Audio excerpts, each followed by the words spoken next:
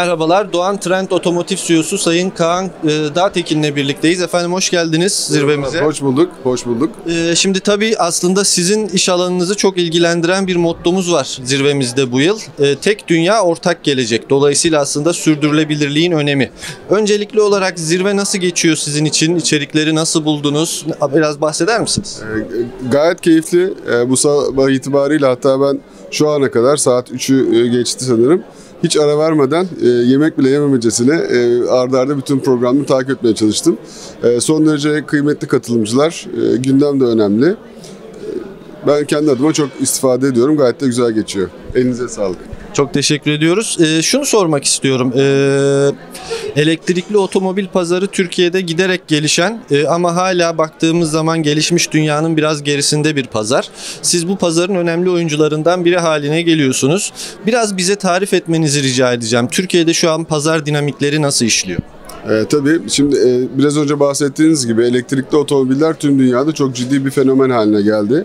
Özellikle son 10 senedir Amerika'da Tesla'nın e, bu işi e, fitilini ateşlemesiyle başlayan yarışta bugün dünyada 3 ana e, eksen var. Bir tanesi Çin. E, Çin hem teknoloji hem de hacim anlamında en yüksek elektrikli araç penetrasyonuna ve üretim becerisine sahip ülke e, ve e, her yıl satılan araçların %30'unun üzerinde elektrikliye döndü.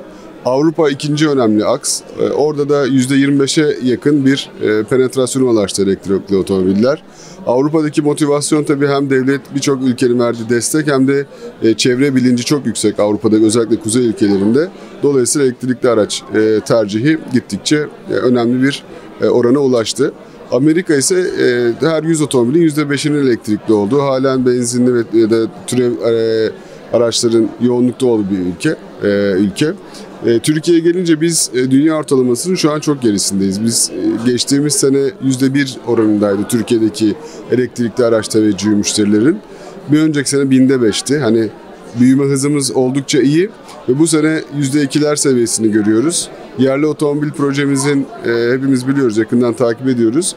Üretim e, üretim temposu e, istenen seviyede oturduğu zaman Türkiye'deki oranların da çok hızlı bir şekilde %5 ve üzerine çıkacağını tahmin ediyoruz.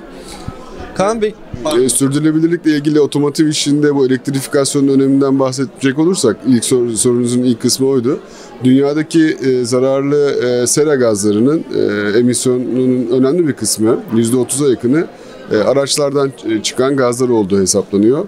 Hal böyle olunca emisyonları e, bazı e, ülkelerin en öncelikli hedefi haline geldi ve gelişen ülkelerden başlayan bu trend tüm dünyaya yayılıyor. Biz de Türkiye'de e, takip ediyoruz dolayısıyla.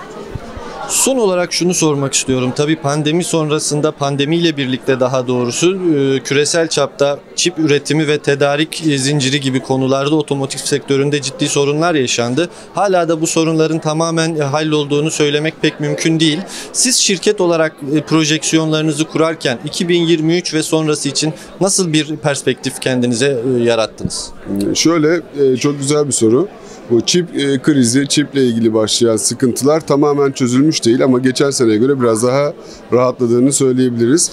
Derken Ukrayna Savaşı e, gene bizim tedarik zincirinde otomotiv dünyasını konuşursak bir e, problem olarak karşımıza çıktı. Biz 2023 e, senesinde şirket olarak ve sektör beklentisi olarak geçen senenin e, sektör bir miktar üzerine çıkacak gibi görünüyor. Tedariğe bağlı olmak üzere. Biz de otomotiv grubu olarak e, bir tek marka bağımlılığından ziyade bir çoklu markayla e, iş yapan bir şirketiz. Dolayısıyla biz de e, stratejimizi olabildiğince e, farklı markalara yayarak bu bu tip krizlerden daha az etkilenmeye çalışıyoruz. Çok çok teşekkür ediyorum Kaan Bey. Teşekkür ederim. Çok sağ olun. Çok sağ olun.